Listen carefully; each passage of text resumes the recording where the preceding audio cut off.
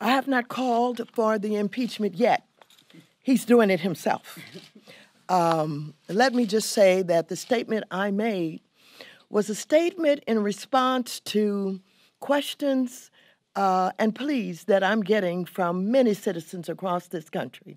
What are we going to do? I think that he is leading himself into that kind of position where folks will begin to ask, What are we going to do? And the answer is going to be eventually, we've got to do something about him. We cannot continue uh, to have a president who's acting in this manner. It is dangerous to the United States of America.